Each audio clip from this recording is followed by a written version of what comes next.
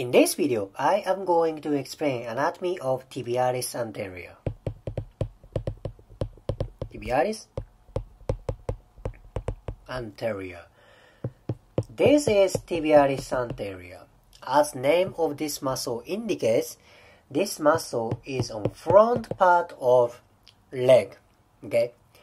Now I am going to explain its origin, insertion, function, and important fascial connection. Origin is on upper part. It originates from superior and lateral part of tibia and about upper two third. Upper two third, superior and lateral part of tibia. You don't have to remember exact landmark, but it's on lateral part and superior part. Plus, this muscle originates from membrane between tibia and fibula. You don't see the membrane. Imagine there is membrane between two bones. What is it? It is interosseous membrane. Interosseous membrane. This is kind of a minor tissue. This is not very well known, but I think this is very important.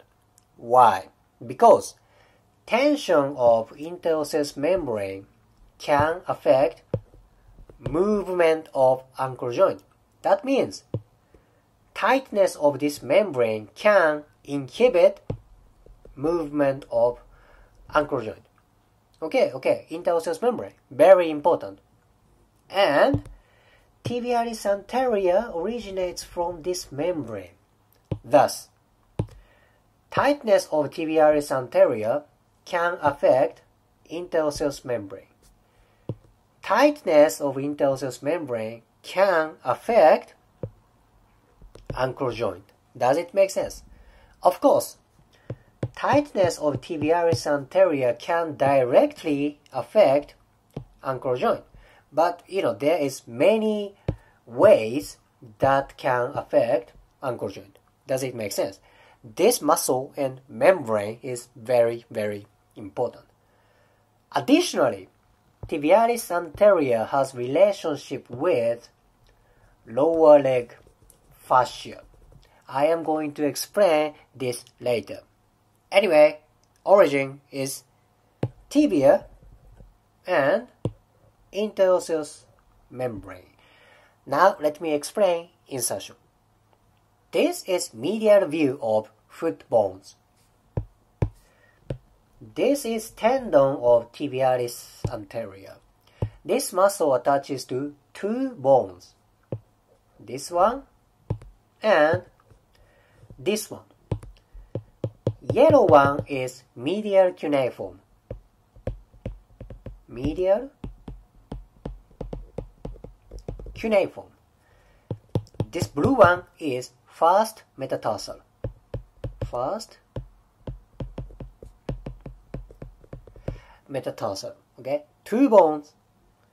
This muscle is on medial part of foot. This relationship is very important.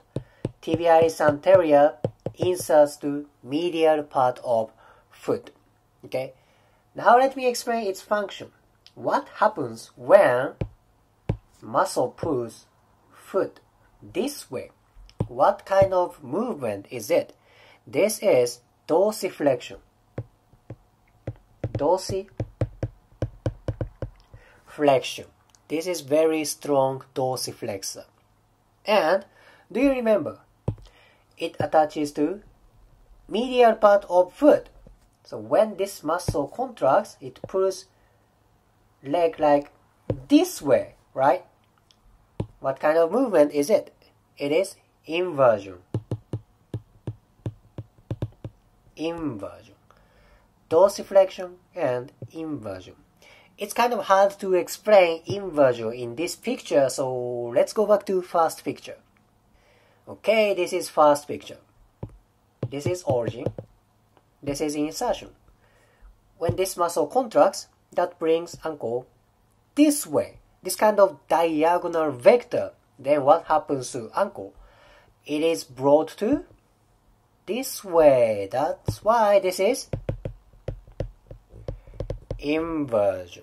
Okay, of course it can do dorsiflexion. Does it make sense? Now let me explain important fascial connection. This is closer view of tibialis anterior. This is origin, right? Tibialis anterior and tibia are kind of next to each other, right?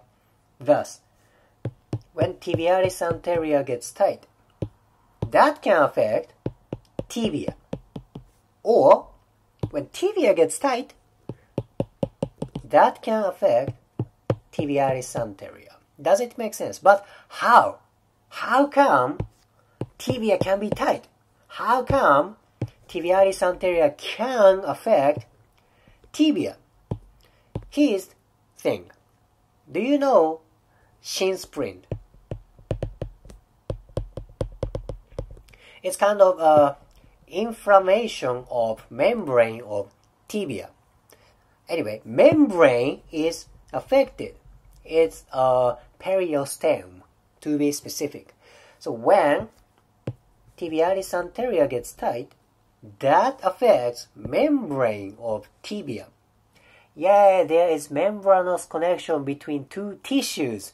Plus, please remember there is fascia around lower leg. It's like a socks. Socks is one continuous structure, right? Tightness of tibialis anterior can affect tension of membrane of tibia. Why? Because they are literally close together. Plus, there is myofascia that is surrounding lower leg. Yeah, it makes sense. So, one possibility for treatment of shin splint is working on tibialis anterior. Any techniques, myofascial release, massage, shiatsu, or any kind of modality that can decrease tension of tibia. Yeah, that makes sense. But there is membrane around tibia. Maybe you can approach to tibia somehow. Maybe you can do myofascial release for membrane of tibia. Maybe you can do shiatsu for membrane of tibia. That may affect tension of tibialis anterior. Again, they are literally connected. They are literally close together. Now, when membrane of tibia gets tight, that can inhibit ankle movement, doesn't it? Because tibialis anterior can move ankle joint, and that can inhibit ankle joint. So does tibia. When this tissue gets tight, that can inhibit ankle joint, like a plantar flexion, because tibialis anterior can do dorsiflexion that may inhibit plantar flexion. So can tibia. When this membrane gets tight, that can inhibit plantar flexion. Oh my gosh, this relationship is very important. This is my personal experience when I do myofascial release for tibia. Range of motion can increase and tension of tibialis anterior decreases. This relationship is very, very interesting. In this video, I explained the basic anatomy of tibialis anterior.